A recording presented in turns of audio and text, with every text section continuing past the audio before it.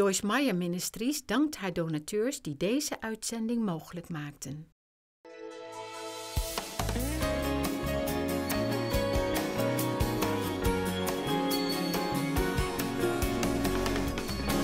Father, thank you for the word today. And I believe that for some people, they're going to hear something today that's going to really be a turning point for them. So I thank you for the word. Help me deliver it just exactly the way you want it done and help every person to stay focused and hear exactly what they need to hear. In Jesus' name, amen. I'd like you to open your Bibles up to Isaiah 61. First of all, let me say that Jesus can heal you everywhere you hurt. Everywhere. If you're hurting spiritually, mentally, emotionally, financially, in relationships. I want you to grasp hold of this next thing I'm going to say. There's no area in your life that God doesn't care about. Nothing. There's nothing in your life that He doesn't care about. And there's nothing in your life that you can't bring to Him and ask Him to help you with. Now, I think that's a great revelation that probably Christians all over the world need to hear because I spent many years of my life as a believer thinking that, I mean, I don't even know that I consciously thought this, but I didn't have any idea that God was interested in any part of me other than the spiritual part of me to forgive my sins and help me get to heaven. I, first of all, I didn't even know I had a mental problem. I thought everybody else in the world had a problem. I didn't know that it was my thinking. I didn't really know that I had emotional problems. I mean, I knew that I got upset easy and I knew that I was angry a lot. And, you know, I don't even know that I really knew that I was insecure. You know, I was real manipulative and controlling. And, you know, we, when, when we're all messed up, in order to survive it, we find ways to mask it. We put masks on it and we make excuses for it and we can easily convince ourselves that everybody else has got a problem, and if they would change, then we'd be okay. Yes, no, maybe. Come on, it's Saturday morning. I'm a little tired, so you got to help me today. Amen. Now, and I really want you to, to know that anything that hurts you, God wants to heal it. Now, when I began to understand scriptures like what I'm getting ready to read you in Isaiah, it was very life changing for me. So, verse 1 The Spirit of the Lord is upon me because the Lord has anointed and qualified me to preach the gospel of good tidings to the meek, the poor, and the afflicted. He has sent me to bind up and heal the brokenhearted now, I believe that the world is filled with brokenhearted people.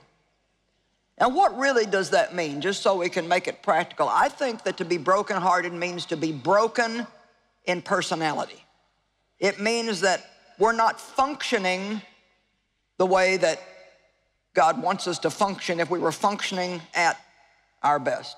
I mean, the way that I behave in my relationships with people now and especially the way that I behave in my relationship with my husband, is so amazingly different than the way I behaved 40 some odd years ago when Dave and I first got married. To be honest, when I look back, I think, I don't know how in the world you stood me or put up with me. And yet God did give him a grace because God saw my heart. And the good thing is, is God not only sees where you're at, he sees where you're gonna be if he works with you a little bit. Amen? And just kind of as an aside here, sometimes God will assign you to a brokenhearted person. I know we all want somebody that's all fixed up and put together and perfect so they can make us happy. But honestly, we pray we want to be used by God. And, you know, Dave, I mean, this is what I'm going to tell you here is the absolute truth. Dave was 26. I was 23 when we met. I'd already been through a bad marriage and a divorce, five years of being married to somebody that mistreated me after already being mistreated for most of my life. I had one child that interestingly enough, I named David. And um, he pulled up out in front of my mom and dad's house to pick up a guy that he worked with, and I was out there washing my car, and I had on short shorts and had one of those big beehives, and you know, he's he, he was Dave was praying for a wife. He said, "I want told the Lord I want to get married. I'm ready to get married." And he's a man that definitely believes that faith without works is dead because he was dating three different women at the time. so he, he wasn't much on just being passive and sitting around. He, he was after it. And he said he knew that none of those three were right. So when he saw me, he said, hey, if when you're finished washing that car, you want to wash mine? Well, you know, I didn't trust men, and I was a sarcastic, you know, a little snot. And I turned around and I said, if you want your car washed, wash it yourself. and he said what went off on the inside of him was, that's the girl for me.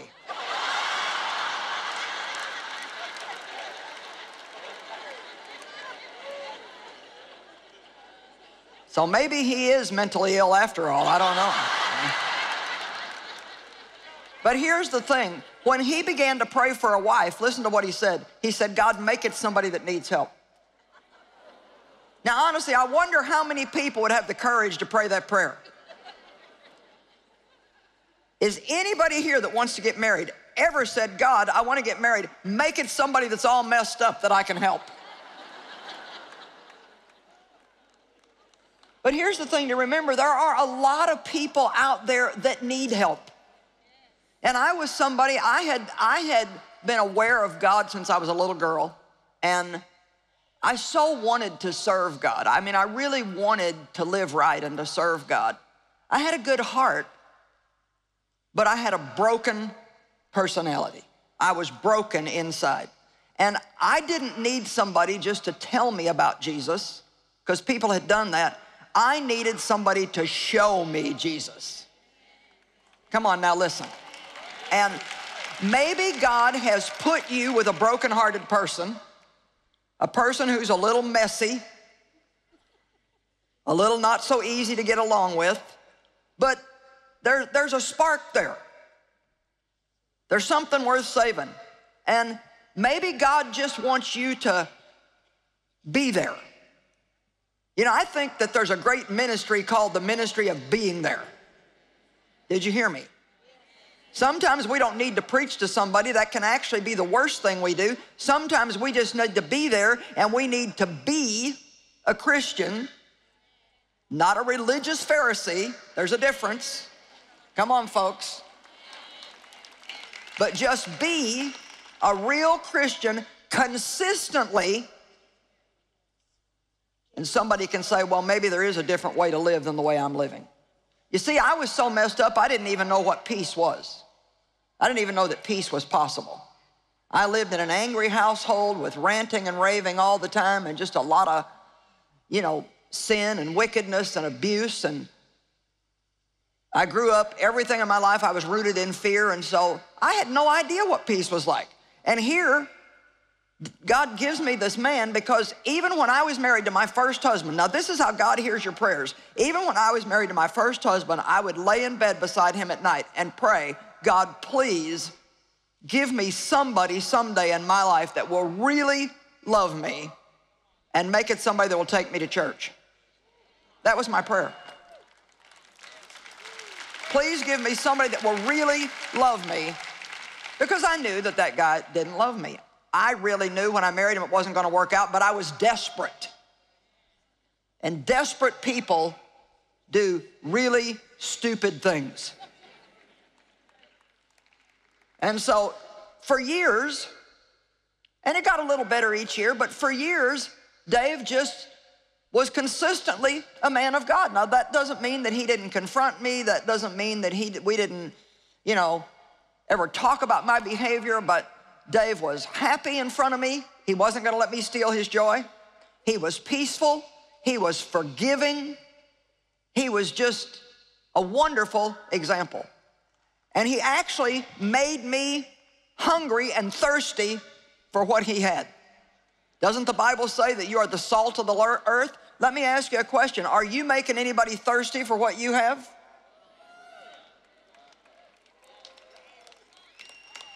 Is anybody looking at you and saying, man, I would love to be like that? I didn't even know a life like that was possible. So, anyway, I'm just throwing that out for good measure that you know, sometimes you have to be willing to suffer through some things that are not very pleasant for you for the salvation and the healing of another individual. To be honest, I think we might just go ahead and say that I think sometimes we are overly concerned about what we're getting out of everything and whether or not it's making us comfortable. And you know, maybe we should just stop praying and asking God to use us if we don't really mean it.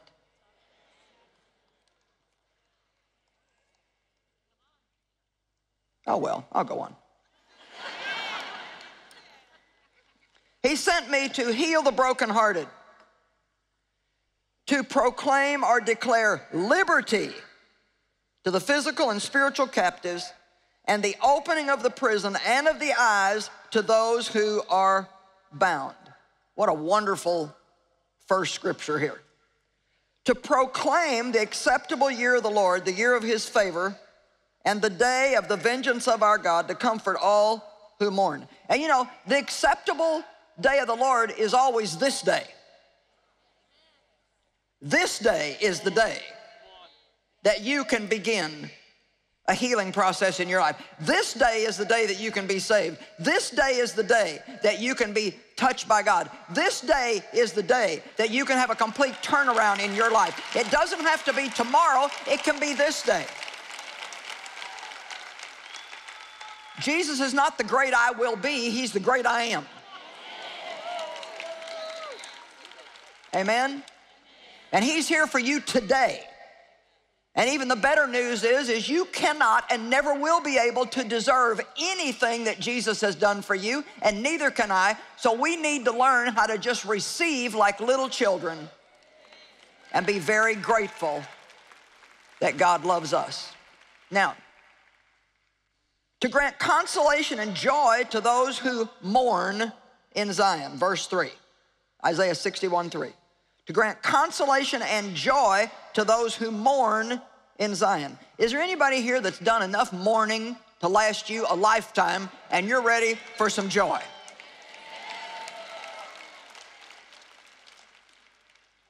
To give them an ornament, a garland, a diadem of beauty instead of ashes. Hallelujah. Now, beauty for ashes. Now, that means that you can take a burned up trash can life and you can bring it to Jesus. He'll take even that and he will give you back something beautiful. Come on.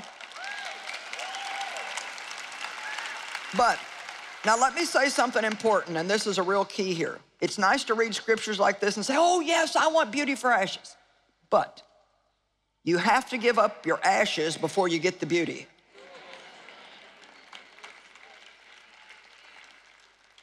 Well, now, what do you mean by that? Well, bitterness, resentment, chip on your shoulder, bad attitude, self-pity, being negative, a passive, lazy spirit that sits around and wants everybody else to do something for them all the time, but they won't do anything for themselves? Come on, I had all that going on in my life, every bit of it. I didn't even know the beauty was available, but even after I found out, I still wasn't ready to give up my ashes. You know, sometimes we just like to just kind of enjoy, as dumb as it is, we enjoy sitting around and feeling sorry for ourselves all day. You got to give that stuff up. That's not going to do you any good. If you really want to have a beautiful life, the first step is to forgive everybody who hurt you. Completely, totally forgive them. And yes, what they did to you is not right, but you are not hurting them by hating them. Please understand, you are not hurting anybody who hurt you by hating them or being angry at them. You are actually only continuing to hurt yourself, and the devil is having a party. Well, it's not fair. No, what people do to us is not fair, but there's a much better plan in God's word That is, that God said, I will bring justice. And that means that God is the only one who can take wrong things and make them right. And God will do that, but you can't keep your ashes. Now, this is kind of where we're at today. Are you ready to totally forgive? Completely, well, I've tried and I've tried, and I just feel. Forgiveness is not a feeling, it's a decision you make about how you're going to treat people and how you're going to talk about them and how you're going to pray for them. I mean, you, you can just cringe inside when you see somebody that hurts you, that has hurt you, and that doesn't mean you can't forgive them and love them. Even love is not a feeling, it's a decision. No, we don't want to pray for our enemies to be blessed, but God says to do it, so there must be something amazing in it for us. I mean, I, have even told God, you know, I'm gonna, I'm gonna pray for them to be blessed, but I have to be honest and tell you, I really don't want you to bless them.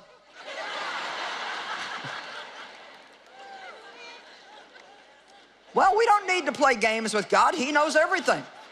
You know, I'm kind of afraid if I pray, you might answer my prayer, and I really don't want him to be blessed, but, you know, I'm gonna do it in obedience to you. And, you know, I think, I think God's answer might be, you, you, you don't have to worry about none of that. The first thing I'm going to bless them with is some revelation.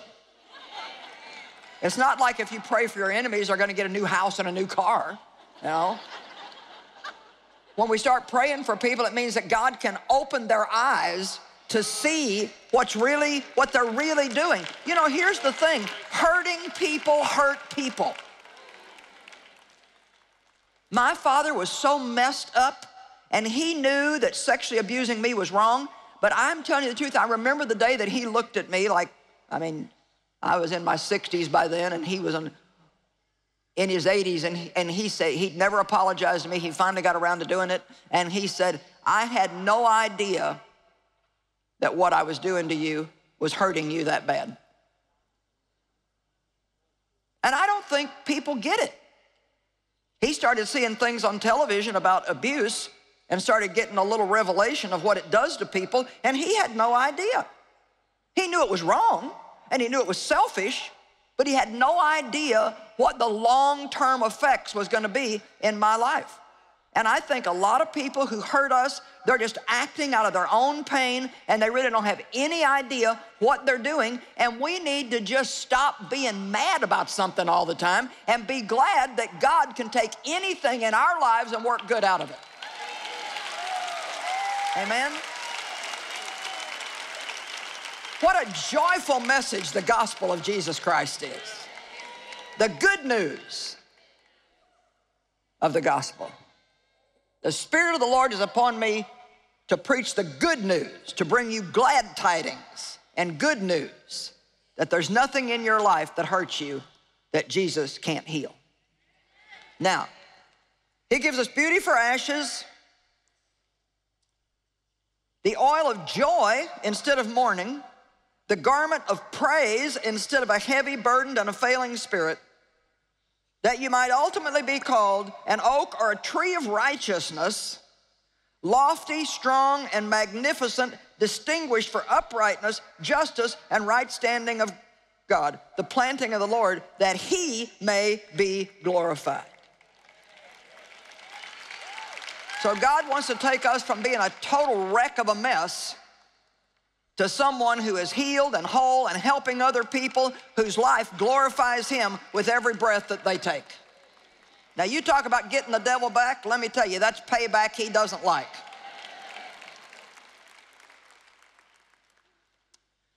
And then just verse 7 and 8 instead of your former shame, you shall have a twofold recompense.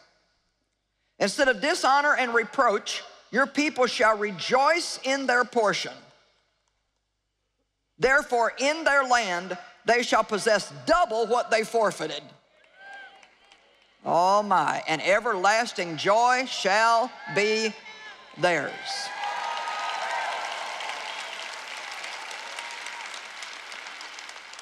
You know, I gave up some stuff. I never got to be a child, but I guess that would have been good, but now I have double, according to the Word of God, what I would have had if I would have had a normal life. Don't sit around and be depressed because you never had a normal life. Give the thing to God. Give the broken life that you had, give Him your pain, give Him all your disadvantages, give Him everything that you've had a bad attitude about, and let Him give you back double what you lost. You're gonna end up with a better deal in the long run than if you would have had the first plan to work.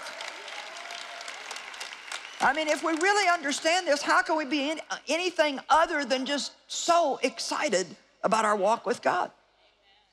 And you know what? You'll never convince me that what I'm saying is not true. This is not a bunch of hype. This is not just a cheerleading session. It has happened to me. And I've seen it happen to lots of other people. Dave shared his story last night about his dad being an alcoholic and never being there for them and never coming to any kind of a, a ball game. I mean, his dad just hid in the basement all the time and, and, and drank. They had like, back in, in those days, they had like old cellars and we had coal furnaces and there would be coal bins and, and uh, then a lot of times after people weren't using those furnaces anymore, they would just be like an empty, dirty room. And that's where his dad hid his wine bottles. And, and that whole room was just full of wine bottles. And yet Dave had a godly mother. And he, and he, he was a godly man. And he served in the armed forces. And he wanted to help somebody and he prayed for a wife that needed help. And my goodness, here we are now and we could have just stayed too messed up, miserable, broke. He could have been bitter because he never had a dad. He could have become an alcoholic just like his dad. He could have been full of hatred. I could have been hating people all my life. I could have been a prostitute or done no tellings what, but God. Come on, but God.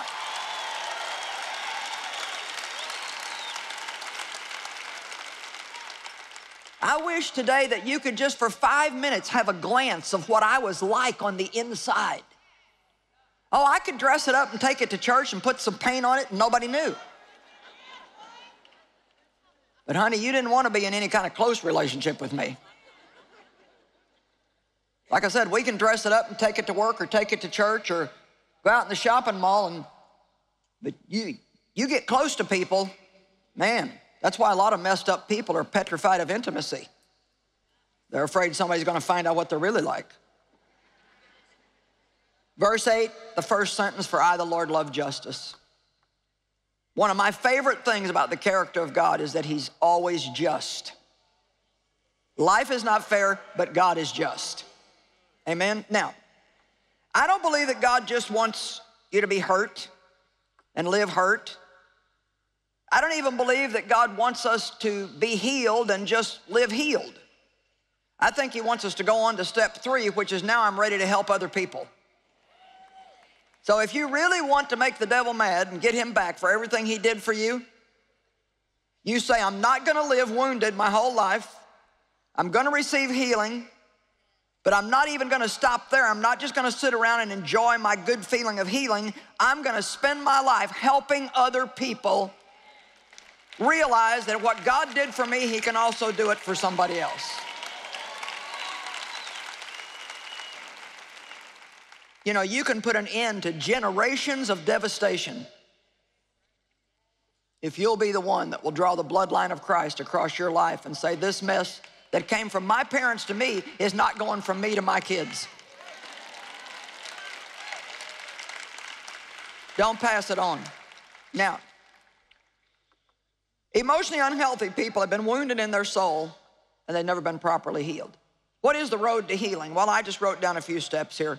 Number one, believe God can work out anything that's happened to you for good.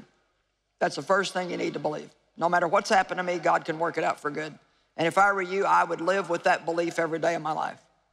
Second, totally forgive. We've talked about that. Number three, renew your mind.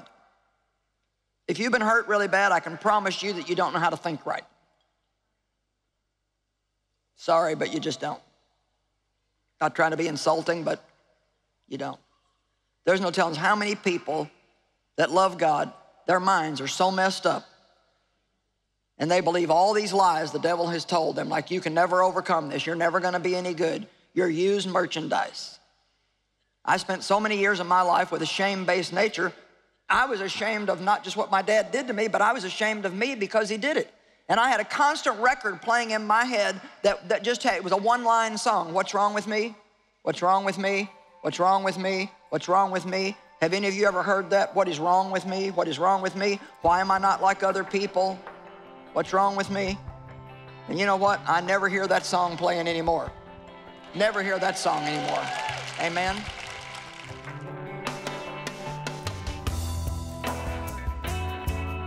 Have you been hurt in the past?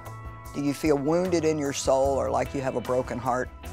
You know, God wants to exchange that brokenness for wholeness. He wants to give you beauty for ashes. But you must be willing to give up the ashes. We have to stop looking behind and begin to look to the future. God's got wonderful things in store for you.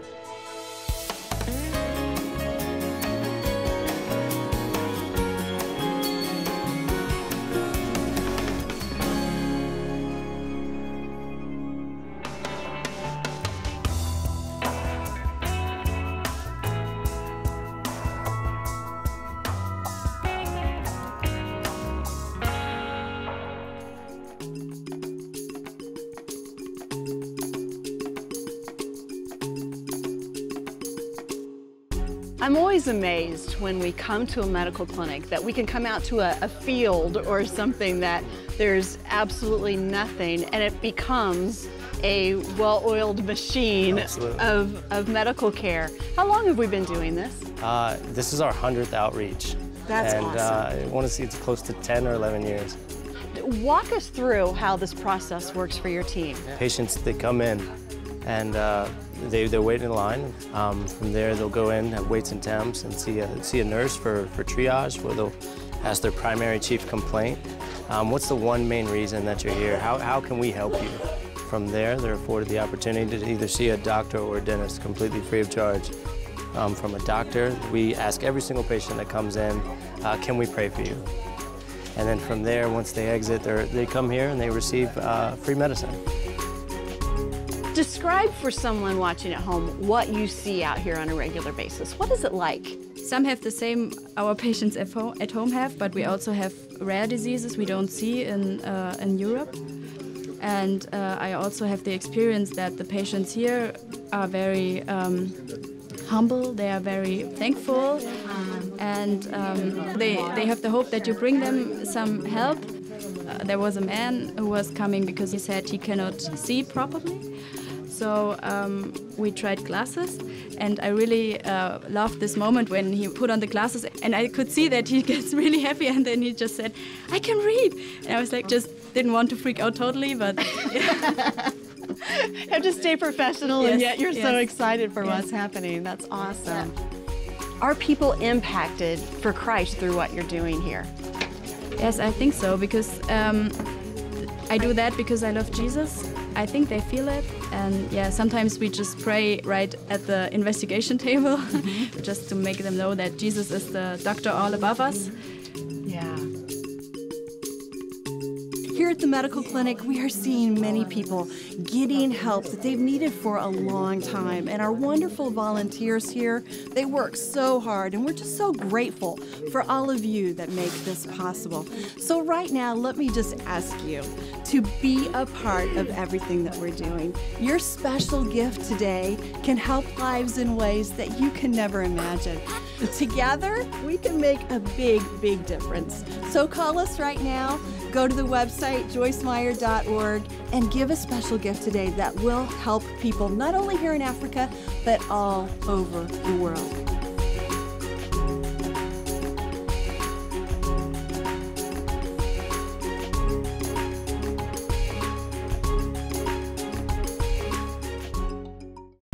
Zelfbewust te zijn heeft alles te maken met vertrouwen op God.